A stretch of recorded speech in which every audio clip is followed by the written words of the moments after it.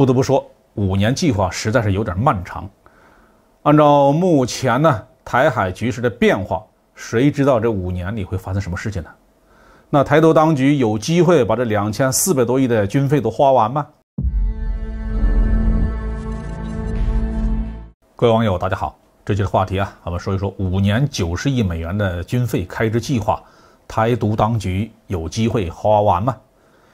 台湾方面的军费开支历来是居高不下，如果按照人均计算的话，达到四千一百六十元人民币。但即便如此，也不能给台湾当局带来安全感。随着解放军总体战斗力的持续的提升，台湾当局更加的提心吊胆。所以在九月十六号啊，台湾当局表示要在今后五年追加两千四百亿新台币的军费开支。不得不说，五年计划实在是有点漫长。按照目前呢台海局势的变化，谁知道这五年里会发生什么事情呢？那台独当局有机会把这两千四百多亿的军费都花完吗？蔡英文日前指出，军队的现代化和增加国防开支是台湾当局的首要任务。台湾军队啊，算得上是比较精良的装备了，但是解放军现代化建设一日千里，和今天的解放军一比呀，台军就相形见绌多了。给台军的这两千四百亿新台币特别军费怎么花呢？预算案中呢已经明确的提出来了，迫切需要在短时间内大规模的获得成熟的武器装备。台湾虽然有一定的军事工业，但是完全没有大规模生产先进武器的能力。无论是导弹、飞机、战舰还是战车，都要指望整机进口，或者进口关键的分系统。如果要猛烈的扩军，那就只好买买买了。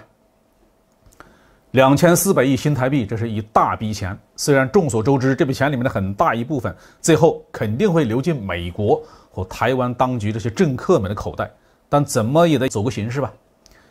其实就在这笔预算案提出的时候，台湾当局的伪国防部的副部长就对记者说，这些新武器将全部在台湾制造，不过美国要提供零部件和技术。这不啊，预算还没有通过。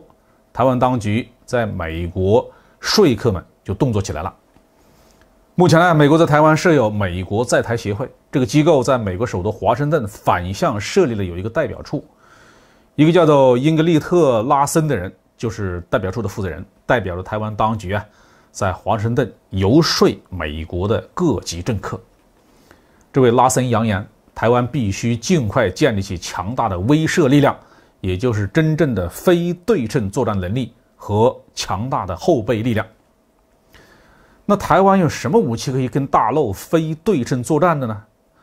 在路透社的新闻里面呢，提到了两类啊，一类是巡航导弹，另外一类是隐身战舰。台湾呢已经研制了一种具有一定隐身能力的军舰，能够发射航母杀手导弹。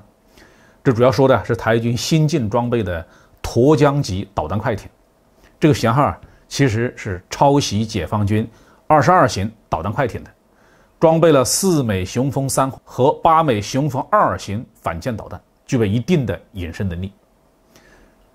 而真正需要当心的是另外一种武器。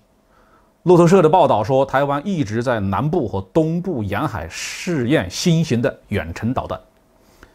根据媒体的报道啊，台湾军方已经启动了所谓的“云峰”陆攻巡航导弹，雄隼。远程巡航导弹和疾风中程地对地弹道导弹，投产了雄风二 E 增程型的对地巡航导弹。据说啊，雄风二 E 的射程可以把整个江西省覆盖在内。但台湾呢，至今没有能力为这种导弹配套小型的涡轮喷气发动机，只能从美国采购。新增的两千四百亿新台币的军费啊，恐怕有很大的一部分要用在这个方面。按照美国和台湾的设想啊，要把台湾打造成一只豪猪，让解放军无从下手。所以啊，在这种理念的指导下，台湾当局年复一年的疯狂的投入军费。现在台岛防空导弹的密度是仅次于以色列，位居全世界的第二，确实已经是一只浑身长满刺的豪猪了。但是，是豪猪就拿它没办法了吗？那既可以把它关进笼子里，一根根的拔它的刺。也可以快刀斩乱麻，一刀砍掉他的头。以大陆现在的军事能力啊，收拾台军有的是办法。